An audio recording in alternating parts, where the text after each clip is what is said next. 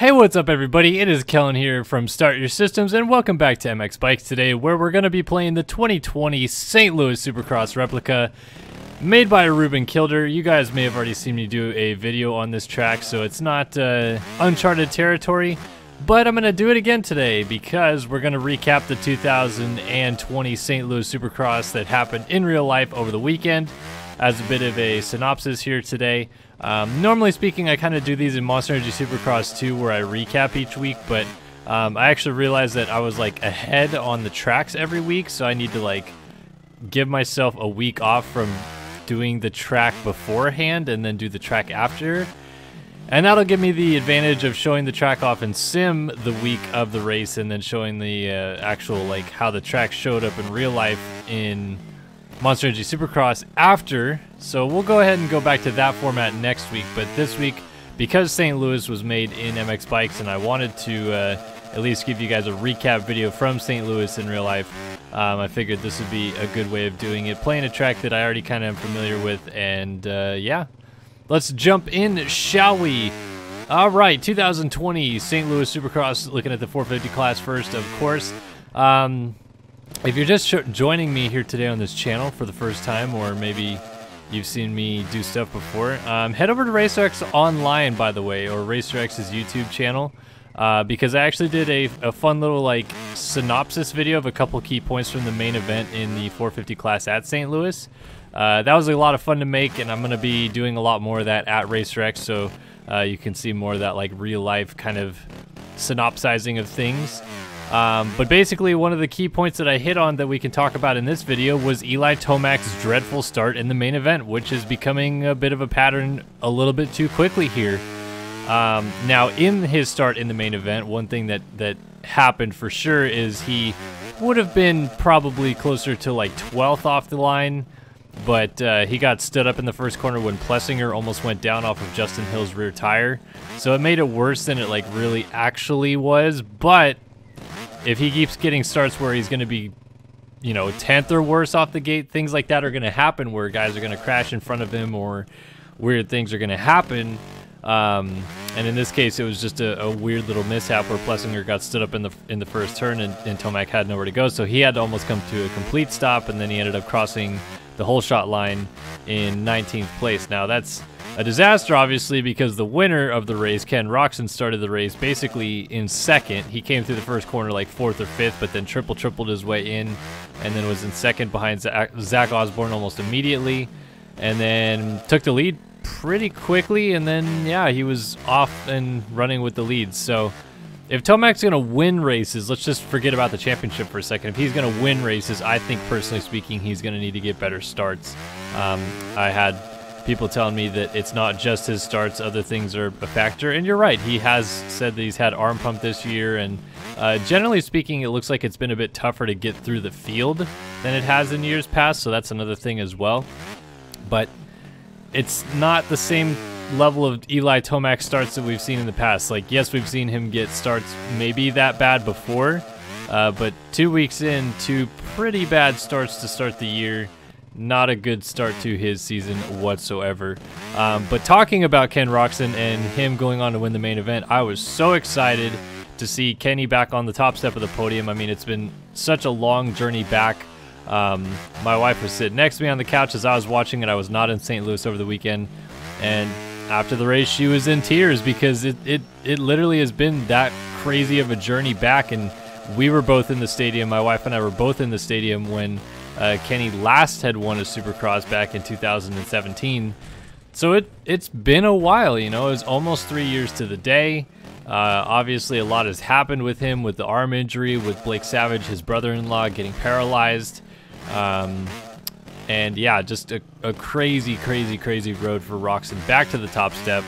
And it was emotional, and it was really, really cool to see. Now, I will agree with you folks that I've seen complaining about the fact that they basically ignored everything else on the last lap to cover Roczen's win.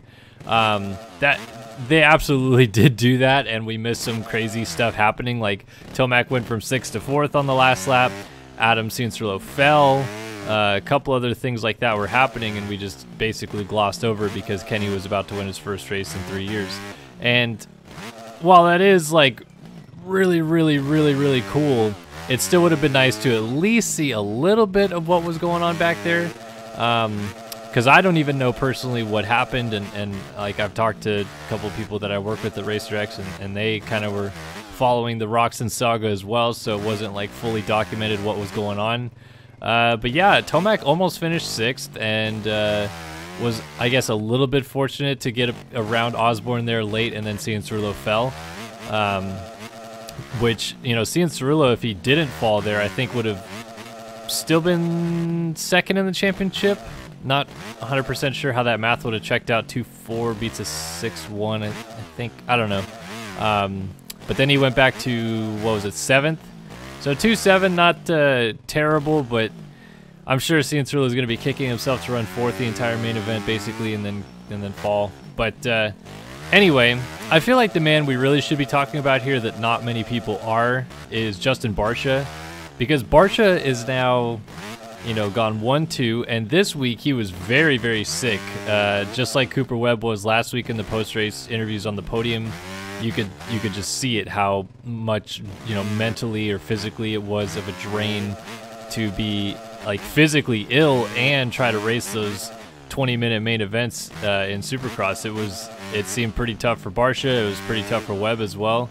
And uh, yeah, Barcia was on the box again. Another great start. Another solid 20 minutes. Um, just because he's never put a full 17 rounds together before. I'm to remain skeptical about championship hopes for him, but early in this season, it's looking a lot better than it did last year, at least. I feel like I, I really do somewhat believe that this, like, 2018 Barcia that we saw when he got the fill in on factory Yamaha is is there again. Whereas, like, 2019, he won the opener. He said his bike settings were good, but then now he tells us his bike settings were not good. And it kind of showed that it was well off when they went to Glendale and he just didn't look the part at all. Um, but, you know, St. Louis, completely different dirt than Anaheim.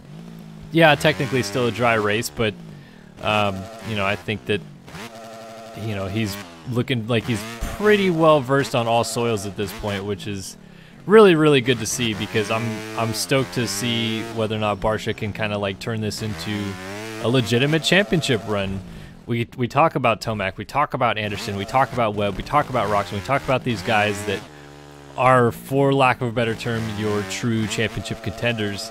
But two weeks in, Justin Barcia, top of the points, two weeks in a row, and he's been on the box two weeks in a row. The only guy that's been able to do that. So I don't know. We'll have to see what happens in Anaheim this weekend. It is not a triple crown, so that's um, kind of like almost a good thing, I feel, so that it's not like so chaotic right off the bat and Barcia has to deal with this mess right away. He'll have to deal with it in Glendale the following week, but at least for right now, if he can just put in another solid main event and maybe even extend his points lead, gonna be sitting pretty nice going into this first Triple Crown that he can hopefully just, you know, have a decent night and not have to worry about blowing it all up there. Um, but I'm I'm looking at Barcia as a guy that's like kind of almost impressing me at this point. Is like, damn, dude, he's kind of got this thing figured out early, and we'll have to see if that momentum uh, carries true. Now, I think one person that nobody is talking about in terms of championship scenarios anymore, which is weird because he was like one of the top four guys you talked about in championships uh, scenarios going into the season, is Jason Anderson, who's now gone 5 3. And in both main events, he's looked like pretty just like rock solid. Like no real major mistakes to talk about. Um, he had a really gnarly moment in his heat race where he went off the track, but uh, was fortunate enough not to like actually go down or get severely hurt or anything like that. But in the main events, he's been perfect. I feel like, uh, yeah, has he only got one podium and he's went five three, and it's not like amazing or anything like that, but you kind of start a season with a little bit of momentum going like that, while others are maybe having some ups and downs. Like Kenny and Tomac both had downs at A1, and then Kenny's obviously on, a, on an up right now, and Tomac, I don't know where you would put his headspace at. Um, but Webb was an up at A1, and now he's a down here because he finished 12th. So then you have uh, Anderson, who's able to go 5-3. I think he's second in points now. I feel like that's a like a boat of confidence there to you know, almost say, hey, yeah, we, we're in a good spot here. We started the season strong. We're not behind or anything like that. And moving forward, he can almost like start trying to focus more on race victories instead of let's just get through the first couple of rounds because he's already done like the the, the groundwork, if you will, the, the base work of building a championship genre in his own you know setup, if you will. So I uh, I think Anderson is a little bit more dangerous here than people are giving him credit for. Yes, he hasn't been lights out crazy yet, but we know that speed exists. We know hang it out Jay Anderson is in there if he is taking this more measured approach to start the season and knows that he can hang it out a little bit later in the season, kind of look out, folks. He may be pretty darn good. Uh, so I like where Barcia is at. I really like where Anderson's at. I, I, I, just don't have a good answer on Barcia, and so Anderson is kind of the guy that I'm looking at as like, wow, he's done pretty good for the couple rounds. Um, has it been like masterfully so more better than Tomac or better than Roczen or anything like that? No, but pretty good position, I would say. And uh, yeah, so Kenny gets his first win. Barcia leading the points still. Tomac has got to figure out starts. Anderson, I think, is in a much better position people are giving him credit for. And Cooper Webb has got to go back to the drawing board. It sounds like he was still actually fairly sick this week and wasn't able to like fully get over the, the bug that he had at Anaheim 1. So that's probably part of him finishing 12th. But I also do feel on some level that this is just kind of the nature of the field that we have right now. While Tomac has the on and off speed that looks insane and incredible, I think when Tomac is having a regular day, you could throw a blanket over basically the top 12, which is where Cooper Webb went back to as like uh, these guys can win main events and do crazy things. I think I saw, I want to say it was a pro. I'm not sure who it was, but they posted the result sheet from the main event, and it was like, yeah, everybody except Justin Brayton in like the top 13 or something like that has a uh, 250 or 450 championship to their name, which I, I've gone through and seen that list before as well. But it's insane. Like you, you know, just going down the top five, you have um, Barcia, who is a two-time 250 Supercross champion, finishing second. Roczen, who is a uh, 250 Supercross champion, two-time outdoor national champion, winning the race. Jason Anderson, 2018 Supercross champion, 2014 250 West champion, uh, finishing on the podium. Then you have um, Tomac, who, you know, track record speaks for itself. Most wins of anybody last couple years. Three-time outdoor champion, four-time outdoor champion if you count his uh, 250 championship in 2013. And then Zach Osborne, who is a two-time 250 Supercross champion and a one-time 250 outdoor champion. Like this is like stacked as stacked can be in the top five, and we haven't even got to some of the heavy hitters like the defending champion himself, Cooper Webb, down in 12th. So pretty, pretty crazy um, list of statistics you can kind of reel off there as the who's who of what's going on at front in the front of the field right now. And I think uh, at least so far, we've got ourselves set up a pretty interesting championship with the first couple rounds being a little bit more open than expected. Like I said, like Barsh has been as solid as he has been in two rounds and and maybe can carry this momentum further. But he wasn't really like ever expected to be this guy, I feel like coming into this season. And now he's suddenly in this position, and everybody else has had these like kind of weirdo scores: a six-one for Roczen, a seven-four uh, for Tomac, a two-seven for Cianciarulo. Webb with a 312. Like, scores all over the board. Yeah, Baggett was, what, a, a 411 this weekend or something like that? Yeah, so it's it's crazy. I'm very excited to see what's going to happen this weekend in Anaheim because then I feel like we're going to get more of an indication on where the series is headed. Last year, obviously, Cooper Webb won at A2 and uh, kind of kickstarted his championship run so maybe something like that happens again. I'm not saying it's going to be Cooper Webb, but somebody could impress this weekend, maybe win, and uh, get themselves into a different situation moving towards the championship. Let's talk about the 250 class. So I don't want to get uh, too deep into this video or crazy about it tonight, but uh, yeah, 250 class action. Hey, guess what, folks? Look at the number on my back of my jersey right here. I love the number 52.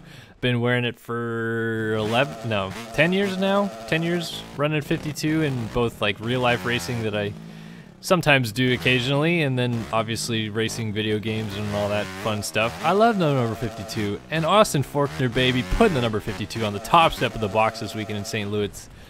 Kind of weird to see, if I'm honest with you, because uh, no normally 52 is not a number that like is associated with someone who's winning a lot. Um, you know, I love some of the guys that ran 52 over the years, but uh, usually they aren't going to be like winning races. Uh, just because Forkner missed a chunk of the season last year, he ends up with 52 as a national number because it's not a career number. And uh, takes the win in St. Louis, his home race as it were, because he's from Missouri, but he's like from the other side of the state, I believe, if I'm not mistaken. I don't know geography well enough to fully say that's true. Um, but uh, yeah, Forkner, two rounds in. So I will say he's looked good, but he definitely has not looked like last year Austin Forkner good to me. Uh, some people may disagree, but like last year Austin Forkner was like pulling 15 second leads on Justin Cooper no problem. And Justin Cooper I think has actually gotten better, so that's not going to like say a huge discredit to him or anything like that. I think Cooper has really stepped his game up. But I do still think that peak Austin Forkner is beating Justin Cooper like no problem. And Justin Cooper came from pretty far back and was getting fairly close by the end of the main event to catching Forkner. Like it didn't happen. I get it, but he wasn't like way, way, way, way off from catching him towards the end there. So that's kind of interesting, I think, to, to make note of. And now Cooper went uh, 2 2, right? For. Uh, no, sorry, 1 2. Ugh, forgot he won the opener. He's gone 1 2 now and maintains the points lead, so the Yamahas will still have the red backgrounds next week. Um, but I think like kind of the biggest talking point that we really could hit on besides the front pack is what was going on with Dylan Ferrandis, which was kind of chaotic. And this is what I was talking about with Tomac in the 450 class, where you leave yourself open to some, you know, negative impact type things if you continuously get bad starts. In Ferrandis' case, he's not a great starter in the first place, but this one was a particular bad, particularly bad one. Ends up pretty far down the field. I want to say he was like at least 12th, 13th, 14th, somewhere in there, going down the first rhythm lane. Maybe a little higher, maybe closer to 10th. Um, and uh, yeah, just a, a, a, sketchy moment where Alex Martin kind of cased the rhythm jump and went sideways towards Michael Mosiman. Mosiman had nowhere to go, and Mosiman kind of jumped sideways, and Ferrandis just like fully like mid-air landed on Mosiman. Uh, very Similar situation to Jett Lawrence and Taki Koga in the heat race, I think it was. I, believe that's who it was. Um, but yeah, it was it was kind of scary because it looked like at first both of them were hurt. It looks like Mosiman was able to get up and be relatively okay because he looked like the one that was most jacked up from it. Ferrandis got going and was immediately put a lap down basically because he went back in the mechanics area to get his bike like straightened out and uh, then yeah, was uh, basically a lap down from there. And this is where I'll give like credit where credit's due. He just kind of stuck in with that lead group after they went by him. I think he ended up like if you put the lead group at the finish line, I think he was about 10 15 seconds behind Forkner crossing the finish line at the end of the main event, so he just kind of was with them. And he played it smart by just getting with that group and when they were going through lappers, quite honestly, I think other riders who he was in a actual battle for position with probably thought he was lapping them and just moved right out of the way. So he went from pretty far down the running order up to 12th by the end of it, still finishing lap down, of course. But I think that 12th is kind of crucial because championship points mean everything in these short little series that these regional supercross championships are. And uh, kind of almost saved his championship hopes, I think, with a ride like that. If he gets a DNF there, I'm very skeptical he's able to pull it back from that, uh, given the nature of Cooper. You know, his podium streaks are incredible. Forkner is almost unbeatable when he doesn't hit the ground, but I think that he hits the ground still a little bit too often. But Ferrandis, I think, is only 14, maybe 15 points down in the championship after salvaging a night like that you know, he comes out and wins this weekend, for example, then he's, you know, at best, or I would say at worst, only 12 points down to Forkner, but probably even better than that given kind of how things play out. So I think that's a pretty big deal. I don't think many people talked about it. I don't think many people watched it, but Ferrandis finishing 12th there, very, very important uh, to get that high up into the uh, the finishing order there. Um, So let's talk about a couple of the other kind of key things that were going on in the midst of all this that kind of caused some of the chaos as well. Um, first of all, very, very, very, very impressed with Jett Lawrence in the main event. Um, he had a rough day, he had a rough night, etc. And then to come out and start up front in the main event, he almost hole shot. I think Forkner got him by like one millisecond, you know, millimeter, millisecond, whatever you want to call it. And uh, and Lawrence settled in a second, and then stayed there for a very long time. And honestly, there was a couple moments where I was like, is he gonna catch Forkner and pass him for the lead? Like, just sticking right with him, no problemo. And uh, towards like the middle of the race, I think is when like kind of the the fade was starting to happen a little bit, which is almost like a natural point of the race there for someone who's never really done this type of racing. Like it's a second actual professional race, so still pretty early on in the the goings of figuring this all out. Um, and I feel like he was losing it a little bit, but he kind of gathered himself after Cooper passed him. Uh, it was just unfortunate that he clipped his his uh, um, brake pedal on a tough block and it ripped it all the way backwards, which is why he had to come into the pits. And it looked really weird because Christian Craig crashed at the same time, so he thought it maybe had something to do with it.